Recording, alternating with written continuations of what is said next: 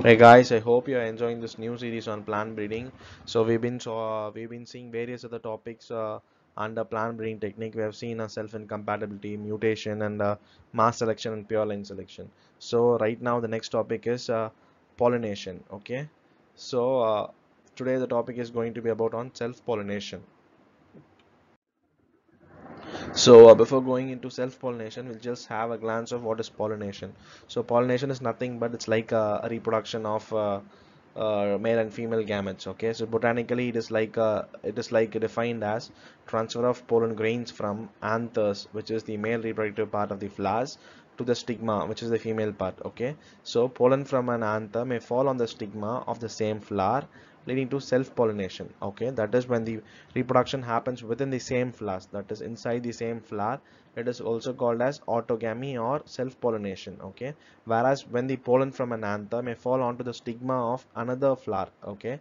That is two different flowers here one flower and here is another flower. So if it is happening inside the same flower it is called a self and whereas when it is uh, involving two other plants or two other flowers it is termed as uh, cross pollination or allogamy okay? So as i already said that allo is different and gamy is reproduction. So different types of uh, plants are involved and this leads to cross pollination okay? So sometimes when pollen grains from an anther may fall onto the stigma of the same flower uh, sorry, I pardon you. Sometimes the pollen grains from an anther may fall on the stigma of the anther flower of the same plant leading to geitonogamy okay? So uh, so you have a plant here and you have one more flower here and one more flower here. The pollen grains get uh, fertilized into the stigma of the another flower but the same plant okay? So it is called as geitonogamy okay? So if it occurs in the same flower it is called as uh, self. And when uh, two different flowers involved it is cross and within the same plant but different flowers it's called geitonogamy okay so self-pollination. Uh, self-pollination is nothing but it is a transfer of pollen grains from anther to stigma within the same flower. Okay, it is usually found in bisexual flowers. Okay, uh, so in most of these species, self-pollination is not complete.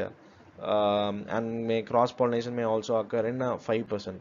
So those are the plants who have uh, self-pollination as their main source of breeding. They will uh, also reproduce by cross pollination in a meager 5 percentage okay? So this is just a fact actually. So the definition is when the pollination occurring within the same plant that is as i already said it is called as self pollination so uh, we'll just will uh, we'll have to know some certain other terms when it comes to uh, self pollination okay? The first thing is bisexuality bisexuality. As the name as the name implements you have two sex okay? One is male and female sexual organs present within the same flower. So it is found in wheat rice groundnut etc so there there you have a bisexual flower. You have the male you have the male reproductive part called anther and stamen and you have the female part. So this is an, a classical example of bisexual flower. So you, uh, it is found in uh, wheat rice and groundnut also okay? So the next thing is homogamy so homo means the same okay? Gamy is reproduction. So same reproduction. So when when the male and the female sexual organs mature at the same time it is termed as homogamy. Uh, so these terms will be coming on and off and there uh, so you need to know what does this uh, term actually means. So the next topic is cleistogamy uh, so cleistogamy is one such interesting topic uh, uh, because the reason is here, flowers does not open at all, but self-pollination is accomplished.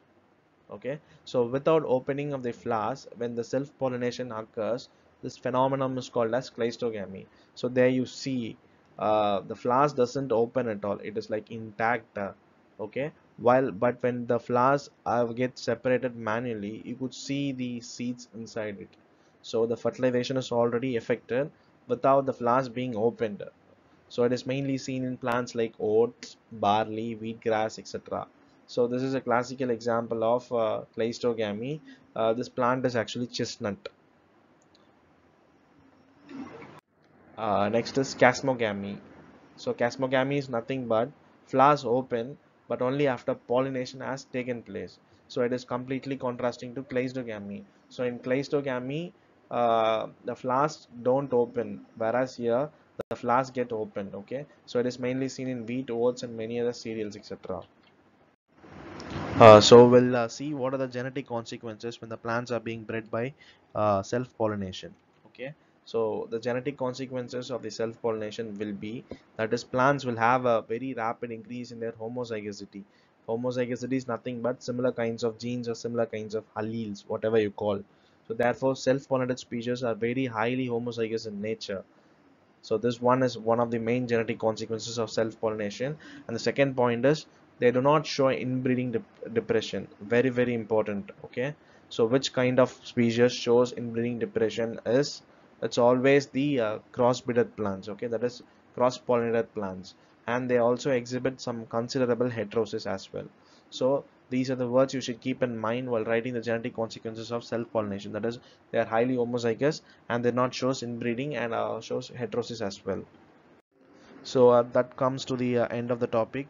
I hope you like the uh, lesson because uh, self-pollination is actually very easier topic, but topics like cleistogamy, geitonogamy, and chasmogamy can be really confusing and hope you and I hope uh, you should uh, recall these topics again and again okay? So thank you for once more again uh, so I hope uh, I hope to see you in the next lecture. Thank you. Thank you guys